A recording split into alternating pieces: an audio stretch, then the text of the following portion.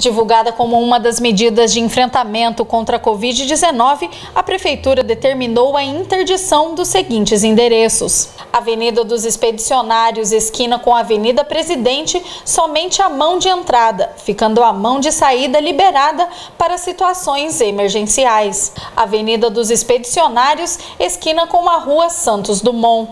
Avenida Interventor Manuel Ribas, esquina com a Rua Monteiro Lobato. Segundo a Defesa Civil, as medidas de contenção e interdição são necessárias, já que boa parte dos bancos e lotéricas ficam concentrados nessas duas quadras aqui no centro de Rolândia, e isso facilitava as aglomerações. Na manhã dessa quinta-feira, voluntários da Defesa Civil orientavam a população e os motoristas que estacionaram os carros e também os moradores dos edifícios das ruas interditadas. Fica proibido estacionar nessas áreas a partir dessa nesta sexta-feira e a atitude é passível de multa aplicada pela Polícia Militar. Os moradores dos edifícios poderão entrar pela contramão da Avenida Interventor Manuel Ribas. Hoje nossa equipe acompanhou o primeiro dia dessas interdições. Em frente aos bancos e lotéricas, o local de espera de cada cliente está demarcado, seja com essas cruzes ou com avisos colocados no chão. Segundo a Defesa Civil, essa é uma forma de evitar aglomerações, já que nesses endereços estão concentrados a maioria dos bancos e lotéricas. Sem espaço, as pessoas se aglomeravam nas filas. O distanciamento por pessoa deve ser de pelo pelo menos dois metros. Os trechos foram interditados nessa quinta-feira e ficarão por tempo indeterminado ou até quando houver risco do coronavírus. É, hoje fecharam as ruas aqui para o pessoal já ficar organizado né, aleatoriamente. Uhum. Muito bom, melhor para nós. Uhum. Logo, logo vai passar, se Deus quiser, e já era. Você espera, você acredita que com essas medidas aí de segurança fica mais tranquilo abrir o comércio?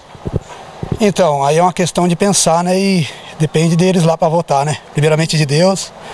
Vamos ver, né? Que... Mas, mas se sentiu mais seguro com essas medidas ou não? É, ficou legal, porque daí se o comércio vem a, a ter um pouco mais de, né, de, de, progressividade, de funcionar um pouquinho, é bom porque daí né, a crise também um pouco né, desagrada o comerciante também. Ah, eu acho que ficou bom, né? Porque assim o povo mantém a distância, né? Uhum. E preserva aí uma certa distância para evitar essa contaminação, né? O senhor acha que com essas medidas fica mais fácil a reabertura do comércio? Acredito que sim. Uhum. É a favor da reabertura?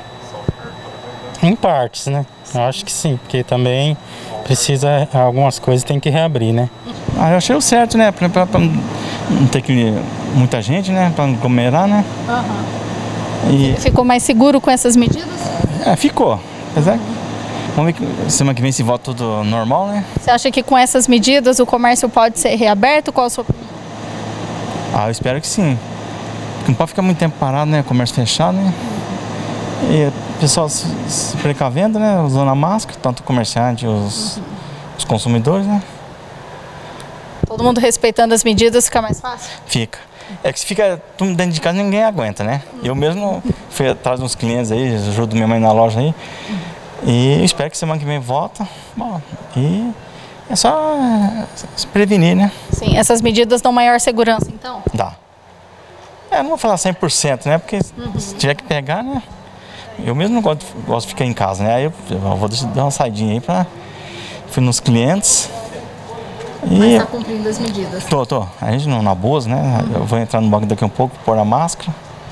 Quer dizer, por lei, né? Sim. Vamos ver se até semana que vem já volta normal, né?